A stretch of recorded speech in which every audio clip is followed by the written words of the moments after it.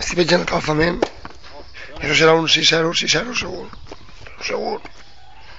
¿A que sí, Carlos? Sí. ¿A que será 6-0, 6-0? Sí, porque a Javier, a mi hermano le ha caído mi dien- el diente. Claro. ¿Ves? La crónica está clara. Pero tienes